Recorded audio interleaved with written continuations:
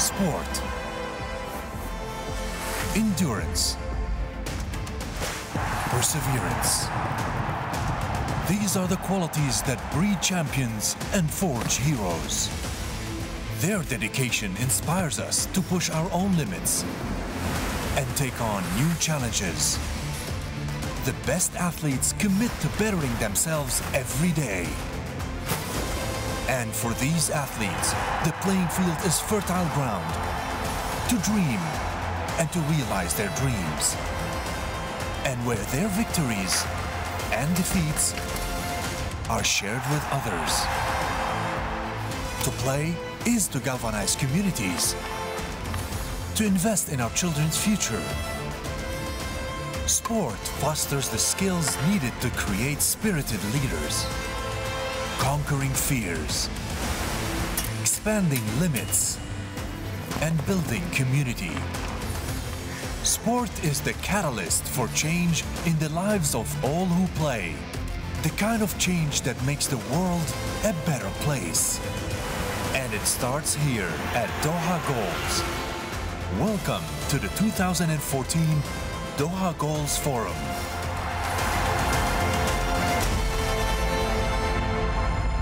السيدات والسادة Ladies and uh, gentlemen, uh, please welcome the Chief Executive Officer of Doha Goals, uh, His Excellency Sheikh Faisal Al Thani.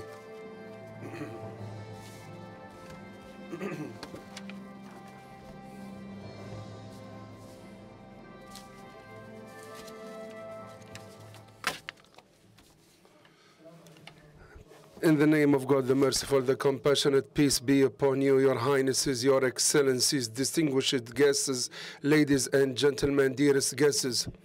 I'm so happy to have you here with us in the third version of Doha Goals. We are meeting uh, once again to show the world that we believe uh, in sport as a catalyst of change.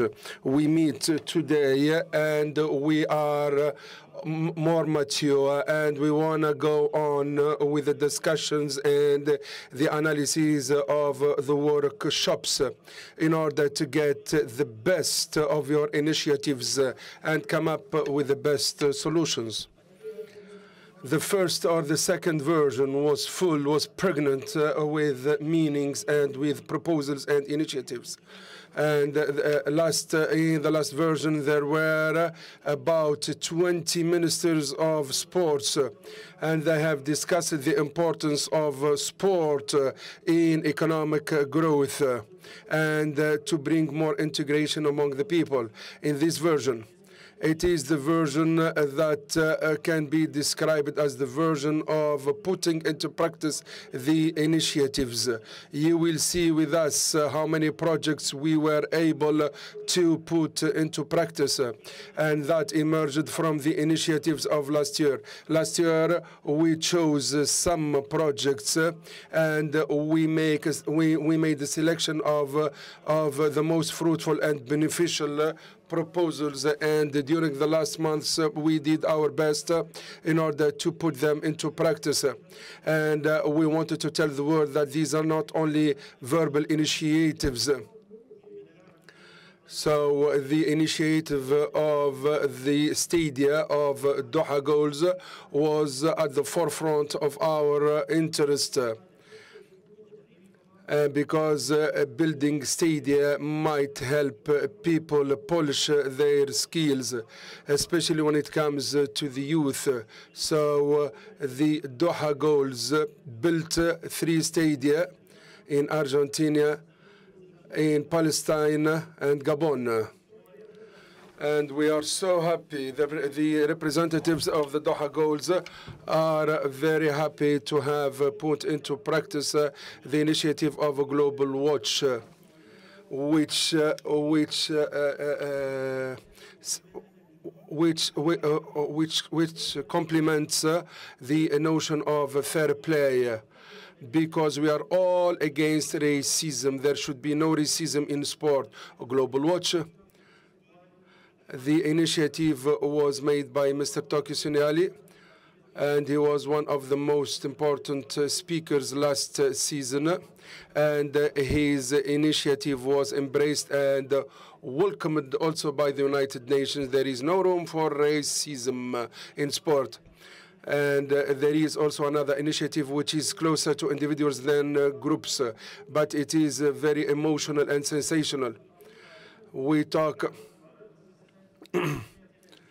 there is uh, the initiative uh, that uh, provides provides. uh, ah, okay, okay. That uh, that uh, provides uh, the uh, people with a special with a special who are physically inadequate and who are physically disabled with the facilities and the tools to make them practice to practice sport. And we agreed with Stephen Hoodle and with and with the ambassadors of Paralympics.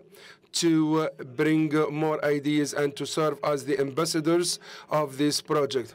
We have also we have always said that Doha goals, uh, the Doha goals pay a lot of importance to economic growth and social stability by bringing uh, many sports events and activities. We have been uh, now are we have been doing this for three years now, but we have now many partners uh, and so many people are attending uh, the Doha goals in order to bring uh, more initiatives and to see if we are putting into practice what we are saying uh, with words and deeds. And uh, I have also to draw your attention to uh, the Qatari Olympic Committee that uh, will host uh, many ambassadors from different world and uh, we will have training sessions for so many people to polish their skills as leaders. Also, we will coordinate effort with our colleagues for, from, from the Aspire Zone to challenge the effects of malaria. And here we coordinate efforts with the Academy of Lionel Messi. And uh, we are uh, thinking about many other initiatives with the best renowned sports experts. And uh, the program of uh, the student ambassador, and this emphasizes the importance of young people. In 2012 and 2013, we invited 400 students, uh, and uh, those served as our uh, ambassadors, and they were so happy to be with us. And in most of the cases, they just passed the the, ideas of Doha goals to their colleagues, and that was a very important thing because they shared their ideas with their uh, mates and with their and I have to greet uh, the students ambassadors, and I have uh, to greet uh, all the student ambassadors who came from all over the world to attend the Doha Goals uh, in Doha. This is a valuable opportunity for them to learn and to have uh, and to pass what they have learned to their colleagues and to their friends and to their classmates in their countries. So they have to take into account that they are here in order to learn, in order and in order uh, to encourage them. At the end, I would like to greet everybody and I would like to thank everybody and I would like to say that this is only the beginning. We are looking for a more comprehensive. a more a more comprehensive attempt. We would love to see a better a better performance, a better discussion, and this should help uh, serve as a catalyst for change, and this uh, shall motivate uh, all our partners to encourage uh, the sportsmen and sportswomen. Ladies and gentlemen, dearest guests, thank you very much for listening to me, and welcome to Doha.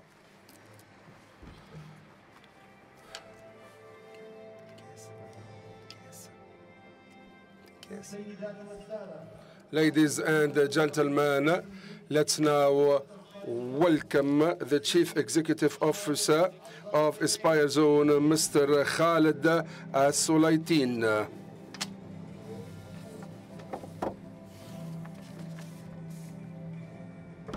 student.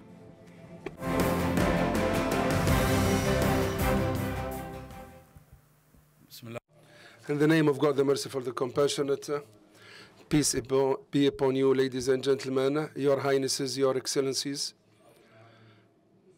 Mr. President, uh, uh, distinguished guests. I'm so happy to welcome you to Doha. I'm so happy to welcome you in the Aspire Zone. Today, we declare the Doha Goals version 3 open. And years after years, Doha Goals have proved to be a successful initiative uh, undertaken by us. We believe in sport as a catalyst of uh, economic growth and social change. We are so insistent on the fact that uh, sport is the best way to keep uh, ourselves healthy. And it is also the instigator of change uh, and the instigator of uh, creativity.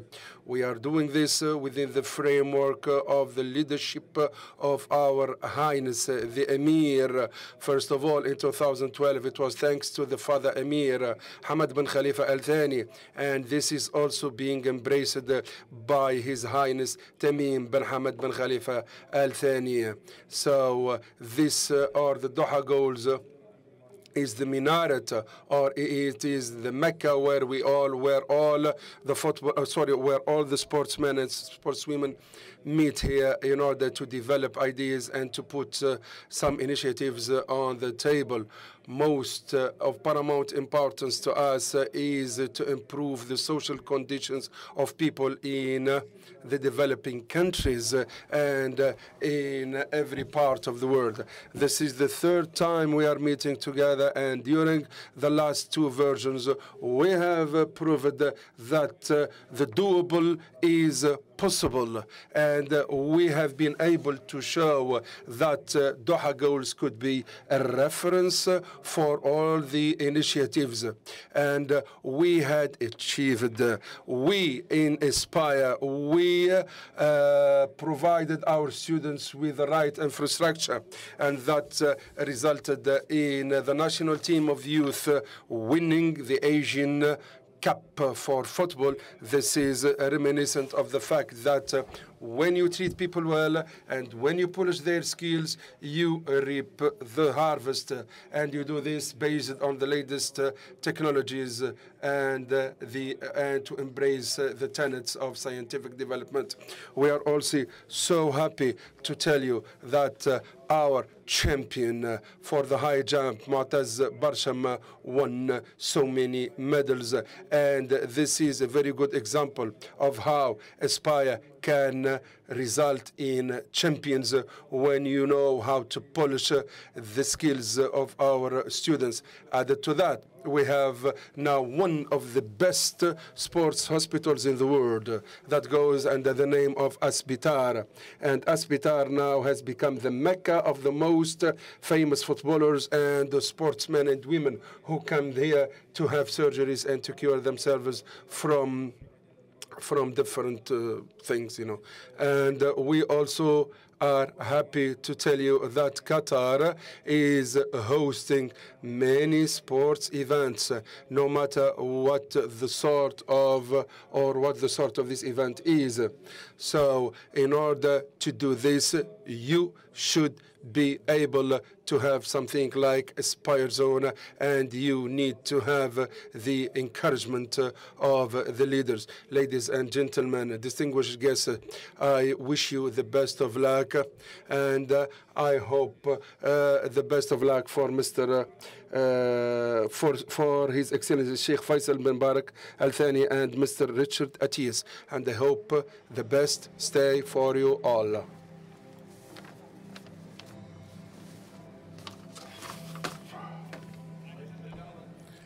سيدتي سادتي دعونا نرحب بالمدير التنفيذي لمنتدى أهداف الدوحة ريتشارد أتيس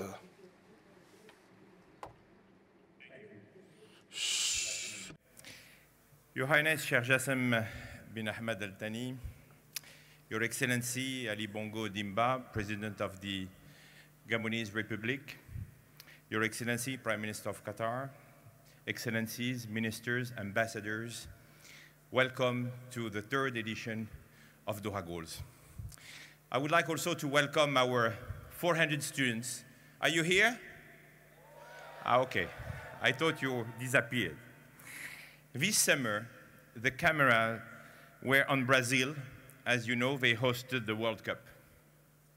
After criticism and concern that the country would not be ready, they hosted a tournament that lived up for expectations for everyone, apart maybe uh, English, Italian, and Spanish supporters. But now, the challenge is on for Brazil to keep its promises, to show that the legacy of the World Cup is grounded in economic benefits for the football, from the football pitch to the favelas. And just as we hold Brazil accountable, so we should in turn look to ourselves here at the Doha Goals Forum. What have we really achieved in three years? Well, from the time we launched Doha Goals Forum at the Olympics in London in 2012, we are proud of what we have achieved. 5,400 participants from 105 countries. 400 speakers, 75 sporting champions, 40 ministers and senior government representatives, 730 media, 1,200 student ambassadors from 134 schools and universities around the world.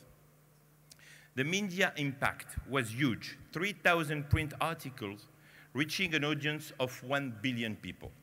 And I was just told before coming on stage that our application, the Doha Goals Community Connect application, is already signed up 800 participants, and more than 100 meetings, one-on-one meetings, happened this afternoon before even the forum started. So thank you for being so committed to what we're trying to achieve. And I would like to say good afternoon or good morning or good night to all the people who are watching us live on, uh, on the net. But those figures pale behind the real reason of the Doha Goals Forum, to spur a community into achieving more. After all, it is not that the lesson we are all taught in sport when we are young, that as a team we can achieve miracles. So 800 initiatives suggested in 30 months.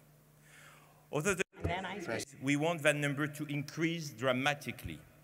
This year, we have extended the forum from two days to two and a half days, we have introduced the new concept of open space, where you, our community, will choose the topics you want to discuss. And our task forces will produce the ideas for the next year of initiatives. Some of these require government's help, and some of them can be implemented at a community or school level, but all of them are designed to use sport to help us achieve more. But don't think for a moment we are resting, because more than statistics, we have listened to you and why you think Doha Goals Forum is relevant. It's always a pleasure to be here, and, uh, and one of the reasons for that is because when you come back every year, um, you, see, you, you see some progress connections, learning new stuff, meeting new faces, and, and really leaving the place smarter than I am today. Uh, I'm sure it will happen. I hope that uh, the people learn to, to be uh, peacefuler for, uh, for uh, doing something good for the world. What I'm hoping to get out of Doha Goals is uh, learn a lot more about what other people are doing and how we can come together and continue to put sports in the forefront and how sports unite people. I'm networking, you know, I'm here to share and to learn. And I know people are here from all over the world, and I'm here from Jamaica, where we recently set up Jamaica Sport. So we have a foundation there doing a lot of great work, and it's going to be an incredible experience. And sports can play such a central role. And here at Doha, we have people from all over the world committed to this goal, and it's exciting to be part of that. This is something that we put ourselves together. I think what everybody wants out of sport, which is a bridgehead through to so many different areas of discussion. Sport impacts on virtually everything that we do. I'm looking forward very much to connecting with people who have a great influence on what makes this one of the greatest experiences of life, how it elevates us, how it crushes us, how it connects us all, and how it sometimes it can mean more than anything else in your life. To meet people who are interested in the same kinds of uh, areas that I'm interested in, marketing, commercial development of sport, uh, business strategy in sport.